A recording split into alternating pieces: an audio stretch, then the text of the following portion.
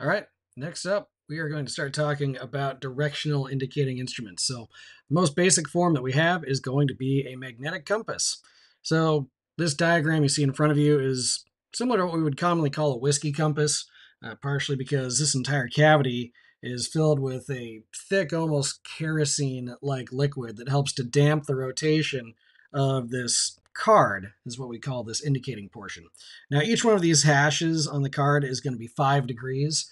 And when the pilot looks at it, it's lined up with what we call a lubber line right here, which is just a bar that sits right in front of the window where the uh, magnet card shows. And that shows the actual heading.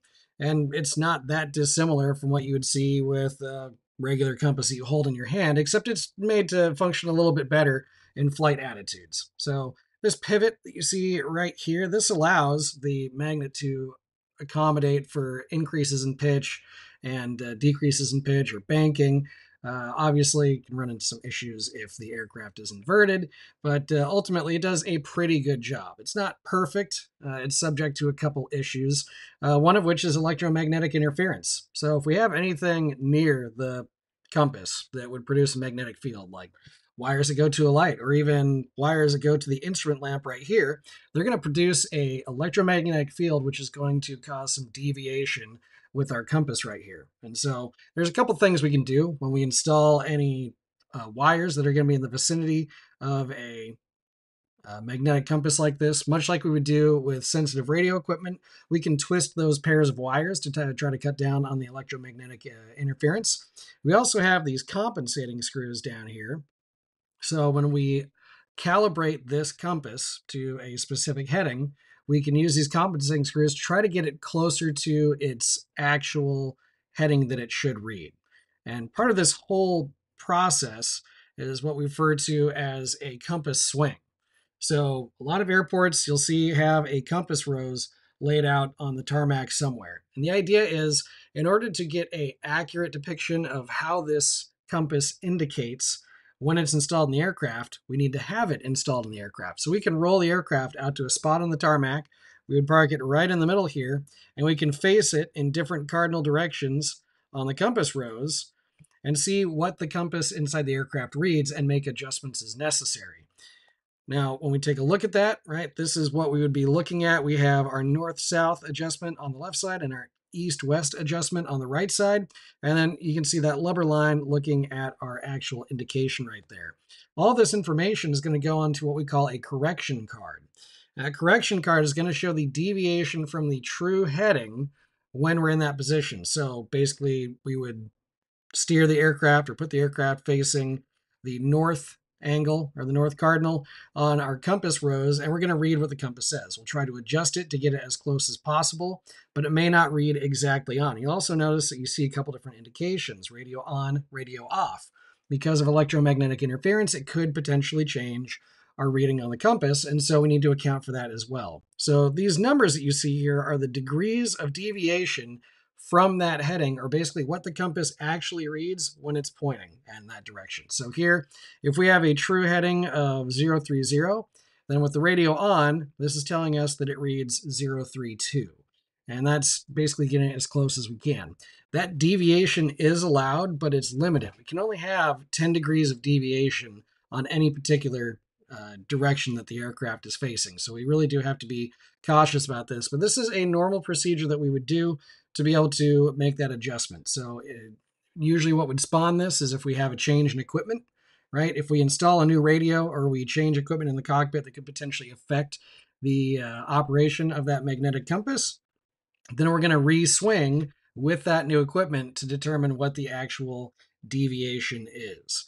Now that's different from variation. Variation is basically a term that just describes the fact that the magnetic North Pole is not the same wherever you are on Earth. Uh, depending on how close you are to the pole, depending on where you are projected out on the Earth's surface, is going to be a little bit different. It's not the exact same as magnetic north as far as true north goes. So if you're looking at a compass, it may not actually be pointing at the North Pole of the Earth. It'll be in the vicinity, but not dead into the center of it. So that's variation that's different from deviation. Deviation is caused by the equipment and the installations inside the aircraft. Now, something that we have that's a step up from this is what we call a vertical card magnetic compass, or sometimes you'll hear people refer to it as an HSI, horizontal situation indicator. Uh, it can be combined with other equipment like an ILS or a few others. We're, we're getting ahead of ourselves. So, this compass utilizes a gyroscope in order to maintain a heading. So, ultimately, we have a gyroscope inside this case that spins, spins, spins, spins, spins. And because of the way the inertia works, as the aircraft rotates, it's going to rotate around that gyroscope inside the case, basically. And so when we set this compass on the ground at a specific uh, direction, we can synchronize it to a heading. That gyroscope is going to continue spinning and will keep it fairly accurate as the aircraft flies. Now, one issue that we do run into is as the aircraft flies, that gyro can precess over time, which means it won't come back to the exact same spot every single time, especially if we go into some uh, higher attitude maneuvers. That can be a problem because we need our directional equipment to be accurate. Uh, in some cases, uh, some small aircraft, you may just readjust the compass every once in a while to account for that precession. Uh, in other cases, we have some ways to solve that. One of these is called a flux valve. Now, a flux valve is remotely located on the aircraft, so it's typically going to be out on like a wingtip, uh, anything that's going to be away from any sources of electromagnetic interference. And it looks a little bit crazy, but basically it's just a, a suspended disc that acts like a pendulum so that nothing influences the way that it points. And this is a magnetic sensitive device.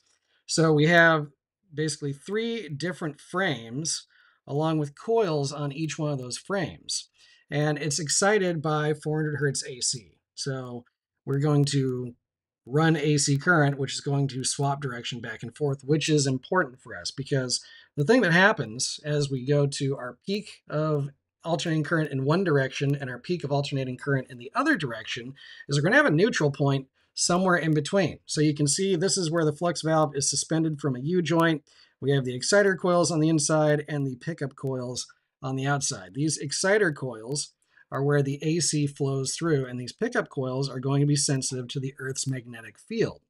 So the way that this works is depending on the direction the aircraft is facing. In this case, if the aircraft is facing north, we'll say, right? So we'll say that's north. For that moment of time when AC current is not flowing either direction, when we hit that neutral point, then it's going to be sensitive to the magnetic field from the planet. And so, depending on the direction we go, the magnetic current is, or the magnetic field is going to induce current that flows in different ways through this flux valve. So, basically, when we're at neutral on our AC excitement, if we were facing north, then the way that the magnetic field flows is going to strike this top frame, is going to pass through and evenly distribute on either side. As that magnetic field passes through, it's going to generate current in these pickup coils those that current being generated in the pickup coils can be read by our compass in the main portion of the aircraft. And so, again, if we were saying that this is due north, here we would have the aircraft facing to the east. And you can see the field is approaching from the same spot, but because the aircraft is rotated, the magnetic field is going to travel through the frame in a different way and it's going to excite those coils in a different way, producing a different voltage. This works similar to the principle of a synchro system. So we're sending three phase AC over to the compass itself. And what this is going to do is it's actually going to drive the gyro and correct for precession over time.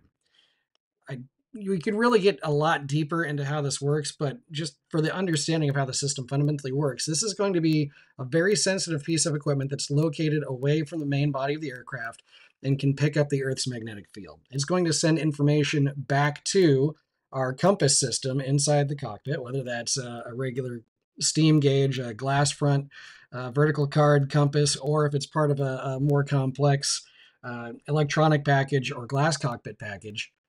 Either way, it's going to send that current information back and it can drive the gyroscopes in such a way that we can account for the precession and the magnetic heading remains accurate. Now, the difference is if we were flying, say, way up at the North Pole, like uh, you're doing a, a, transit from, say, Seattle to the UK, so you're flying way up over northern Canada, it's going to become less accurate because of the magnetic variation. So we actually have two modes that can be operated. We can either operate it in slave mode, which allows this uh, flux valve to be able to input information to the compass and correct, or it can operate in an open mode, so it's basically exclusively a gyro, and we don't get thrown off by the magnetic variation that close to the pole.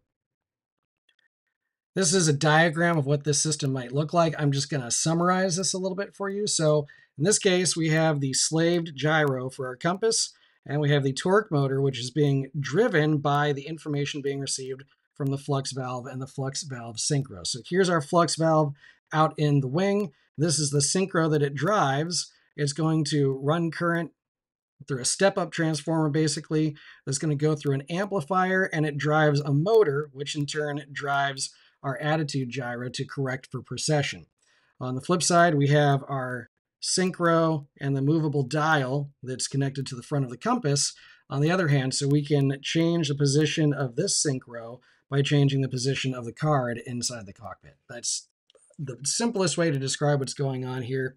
When you actually look at the airplane, you'll see areas where the flux valve is installed. Usually you'll see a panel underneath the wing, and it's marked as such because it's a very sensitive piece of equipment. Speaking of gyros, we're going to talk about gyroscopes real quick.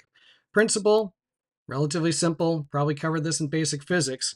But if we have a weighted rotor, so for this, we would call it a gimbal with this arrangement. So if this rotor spins and spins and spins and spins, because of the way that inertia works, if we move this frame around, this rotor is going to stay in fundamentally the same position so long as this gimbal allows it to rotate freely. Uh, now, if we only have, let's say, two fixed points right here and here, if we move it left to right, then it'll force the rotor to move. But if we move it back and forth this direction, then the rotor is going to stay in the same place. That we can use this trick to be able to power a couple different instruments. So we're going to talk about those real quick. The first and most obvious is our attitude indicator or artificial horizon you'll hear some people talk about. This is powered by a 360 degree movement gyroscope. So we have a motor inside the instrument that turns that rotor. It can either be powered by vacuum power, so using suction from a vacuum pump, or it can be powered by an electric motor, either way. It's going to spin and spin and spin, and it allows that rotor to stay in the same place. So as the aircraft moves, that rotor or that gimbal is slaved to the card that we have in the front of the instrument. Depends from who made it. There's a couple different designs for which part moves, but it's all fundamentally the same. So as the aircraft banks, pitches up, whatever it is, that gyro stays in the same place and it gives us the deflection on our card so that we can see what attitude the aircraft is in. This is an example of one you'd see commonly installed in small aircraft all the way up to large aircraft as, say, a backup gyro system. Uh, a lot of aircraft now are incorporating glass cockpits, but you will still see traditional gauges like this used as a backup system in the event uh, that we have a, a, failure of the glass cockpit system. But it, it's going to pull from the same information and work on the same principle. Uh, the other thing you'll notice here is we have an adjustment knob right here. And basically all this does is when the aircraft is level, it allows us to move this little indicator that represents the airplane up and down to match with the horizon when we are straight and level at, at, at uh, that correct attitude. We talked about our vertical card gyro heading indicator, our vertical card compass. It's going to work off the same uh, uh, component. I guess one thing to point out is so when we talk about our attitude indicator, it's going to detect movement about the longitudinal and about the lateral axes of the aircraft. So we're looking at pitch and roll. When we're looking at the vertical card heading indicator, this is only going to be detecting movement about the vertical axis of the aircraft. So we're only really looking at yaw to see the change in aircraft heading. Uh, again, we talk a little bit about precession. So over time, what can happen is as we rotate this weight, if we apply force to one side of the shaft, it can cause it to rotate in a different direction. So as we displace it, let's say up, it can force the gyroscope to actually rotate this direction. That's what we talk about with precession, and that's what we have that flux valve to help with with our gyro compass.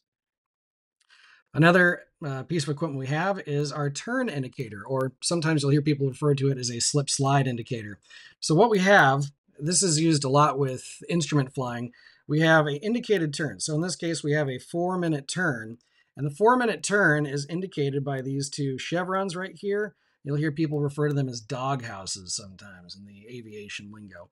What happens is we have another gyroscope inside this piece of equipment and it's going to detect movement about the vertical axis and about the longitudinal axis. So we're looking at yaw and bank.